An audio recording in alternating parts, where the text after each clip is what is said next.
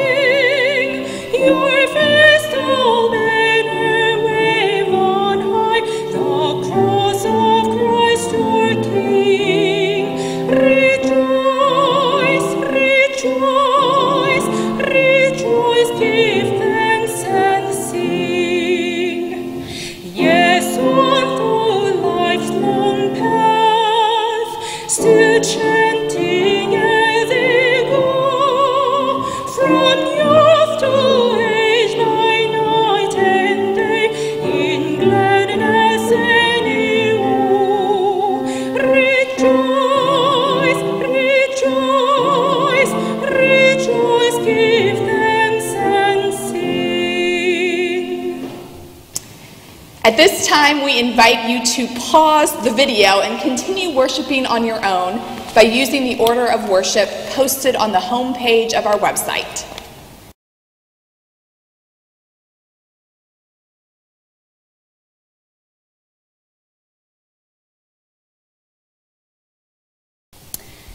A reading from Paul's letter to the Philippians. Rejoice in the Lord always. Again, I say rejoice. Let your gentleness be known to everyone. The Lord is near. Do not worry about anything, but in everything, by prayer and supplication, with thanksgiving, let your requests be made known to God. And the peace of God, which surpasses all understanding, will guard your hearts and your minds in Christ Jesus. Finally, beloved, whatever is true, whatever is honorable, whatever is just, whatever is pure, whatever is pleasing, whatever is commendable, if there is any excellence and if there is anything worthy of praise, think about these things. Keep on doing the things that you have learned and received and heard and seen in me, and the God of peace will be with you. I rejoice in the Lord greatly that now at last you have received your concern for, your concern for me. Indeed, you were concerned for me, but had no opportunity to show it. Not that I am referring to being in need, for I, I have learned to be content with whatever I have. I know what it is to have little and I know what it is to have plenty. In any and all circumstances, I have learned the secret of being well fed and of going hungry, of having plenty and of being in need. I can do all things through him who strengthens me. This is the word of the Lord. Thanks be to God.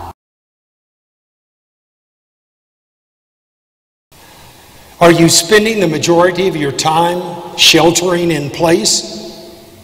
I hope you're able to get outside occasionally for some fresh air or to see the colors of spring. Even then, you may be feeling as if you're under house arrest. Thinking about this lockdown we're all experiencing made me think of the situation of the Apostle Paul. When he wrote his letter to the followers of Jesus who lived in Philippi, he was in prison. However, he was not voluntarily sheltering in place. He was imprisoned by the Romans. He was unable to take a stroll outside or to go to the market to shop. Worse, he was awaiting trial for encouraging people to believe that Jesus, not Caesar, was the Son of God. That Jesus, not Caesar, was the real king. That Jesus, not Caesar, was the one to whom you should pledge your allegiance. That Jesus, not Caesar, was the one to trust. Of course, this amounted to treason. And since Paul had no intention of backing down or modifying his message, in all likelihood, he would be executed. Now, none of us like being confined. Not only do we enjoy our freedom, but sheltering in place can produce numerous negative emotions. You may be feeling anxious or lonely. You may be afraid or battling disease. You may be feeling panicky, especially if you're out of work and not being paid right now. You may be wrestling with an illness or depression. However, sheltering in place is very different than being imprisoned by the government and waiting your date with the gallows. Paul's situation was much more extreme than ours. So, how did he cope with his situation? Our passage reveals the remarkable. Paul was feeling neither depressed nor fearful. In fact, he was jubilant.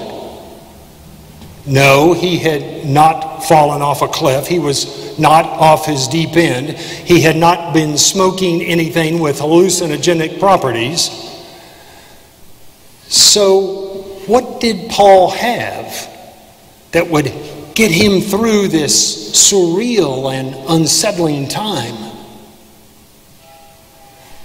Some have compared our current crisis with the terrorist attacks of September 11th. That too was a very disturbing time. We experienced shock. We could not believe what had happened. It took some time for it to really sink in. As now, that seemed unreal. Many of us were anxious. We wondered where the terrorists might attack next. For weeks, I would have this eerie feeling every time a jet flew low overhead. I had that same eerie feeling a week ago when I went to the grocery to stock up. As I walked past other shoppers coming down the aisle, I could not help but think, I wonder if they might have the coronavirus. When I reached for an item on the shelf, I wondered who had put it there, who had touched it. Had they had the virus?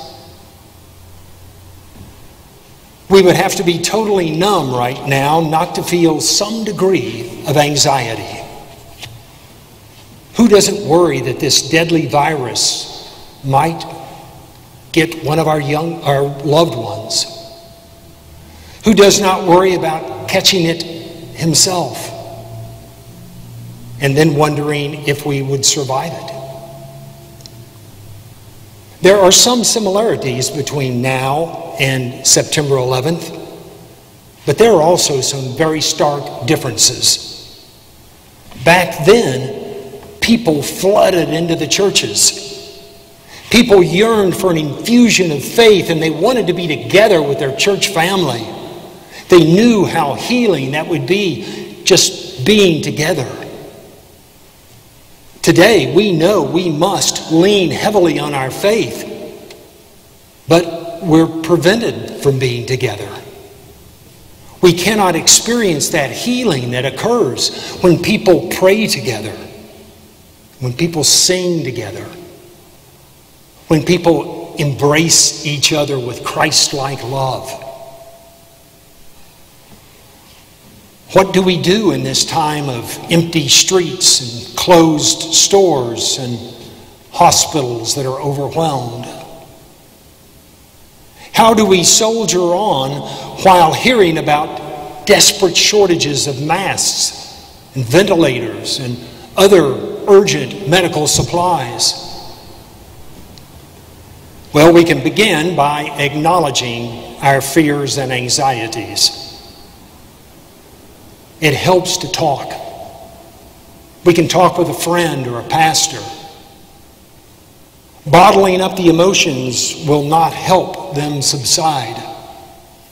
Most likely they'll fester, and each bit of bad news will just fill them with more power than they really deserve. Sharing our fears and anxieties can get them out in front of us so that we can handle them. There can be healing in simply knowing that others are sharing these same emotions. We're not alone in our thoughts. We're not the only one feeling mental distress. Now, Paul had to have known fear and anxiety. He was beaten on numerous occasions. He was nearly stoned to death. He was shipwrecked. He was imprisoned.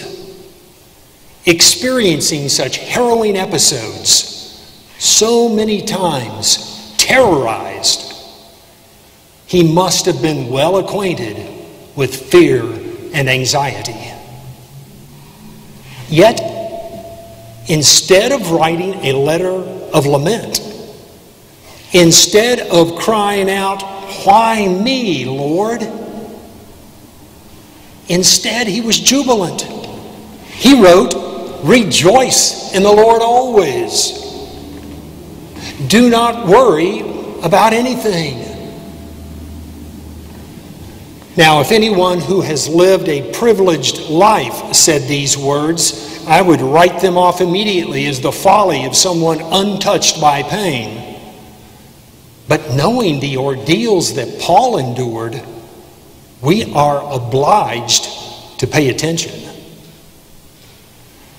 Perhaps we find a clue in what Hildegard of Bingen said. She was a 12th century mystic who wrote, We need to fly with two wings of awareness. One wing is an awareness of life's glory and beauty. The other wing is an awareness of life's pain and suffering.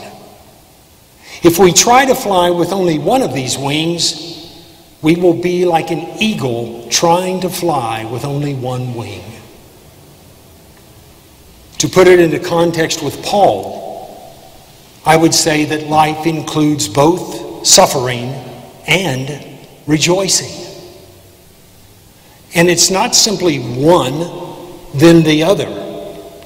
Often both are present simultaneously. I think that's what we're seeing today. On the one hand, there is the suffering and fear produced by the coronavirus. On the other hand, there are so many courageous and selfless people who inspire us with their refusal to surrender to fear. Doctors and nurses and healthcare workers dare to put their lives at risk so that they can help people who have contracted this deadly disease. They put themselves in harm's way out of an allegiance to saving people's lives. They literally suffer for others. could anything be more Christ like? Paul is saying we must choose our focus. Will we obsess on anxiety or will we trust God? His answer is do not worry about anything, but in everything, by prayers of thanksgiving, let your requests be made known to God. See, the Paul, the, the key for Paul for handling this misfortune is prayer. It is constant prayer for at least three reasons. First, prayer sharpens our awareness that we are not alone. God is with us. God is not controlling the situation.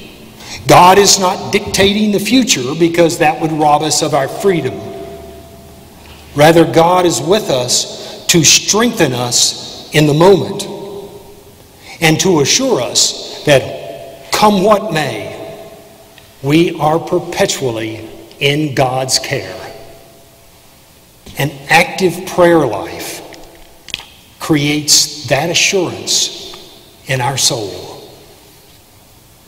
Second, prayer can generate a heart of gratitude. Paul had discovered that no matter how terrible his situation, he could always point to blessings. Nurturing a grateful heart drains the potency out of fear and anxiety. These negative emotions cannot dominate a grateful heart. And finally, prayer spawns a confidence that our Creator is a God of resurrection. Joy is not a hidden gem that only emerges when the wind is at our back. God draws light out of the darkest places, and God brings life out of places given up for dead.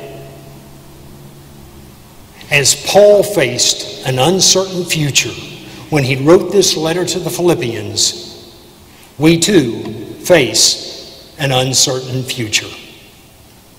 We have no idea how long we'll have to continue sheltering in place. We have no idea how long this pandemic will last.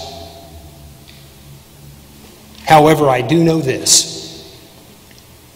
This crisis is screaming at us to ramp up our prayer life so that we will have the emotional confidence and the spiritual stamina to weather these unsettling days.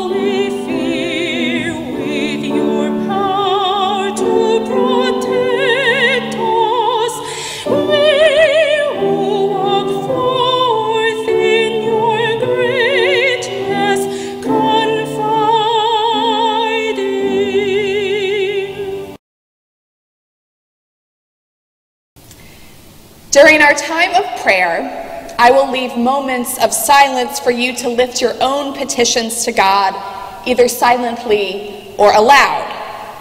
We will close each of these moments with the refrain, Lord, in your mercy, hear our prayer. Let us pray. God, our hope, who stirred dry bones to life, who summoned Lazarus from the tomb, you are the resurrection and the life. The grave is no match for you.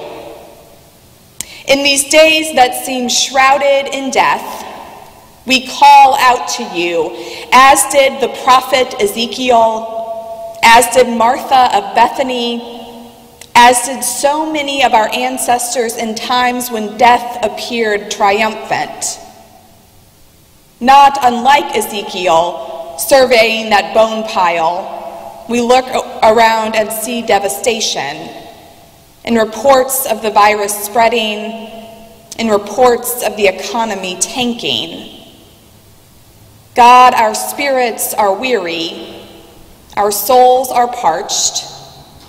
We long for your spirit to sweep over us, to draw order out of chaos, to stir dry bones to life, to make all things new. So out of the depths we cry to you, for we trust that you hear our prayers. For those suffering directly from COVID 19 and those caring for ailing bodies and afflicted spirits.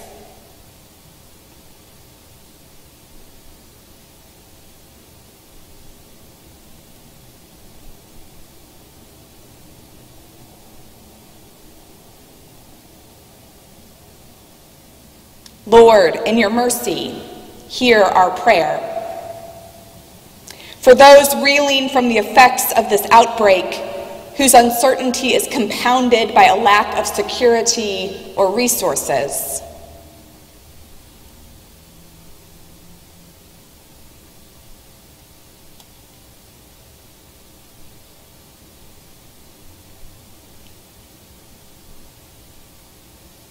Lord, in your mercy, hear our prayer. For those struggling with other crises or conditions, which persist even now in the midst of a pandemic.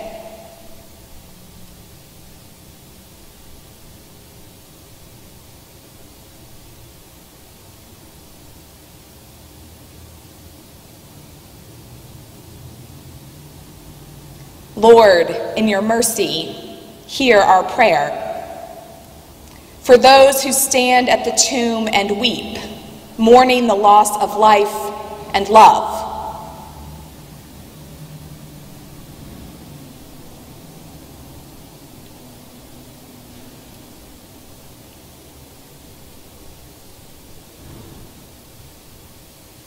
Lord, in your mercy, hear our prayer.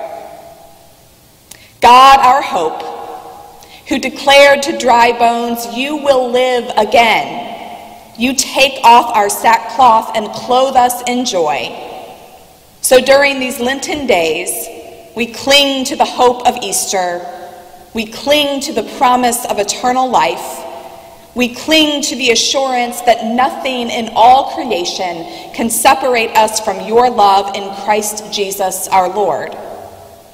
May your grace and love strengthen us in hope, fill us with peace, and sustain us in joy as we strive to do what is honorable, what is commendable, what is just for the sake of the gospel.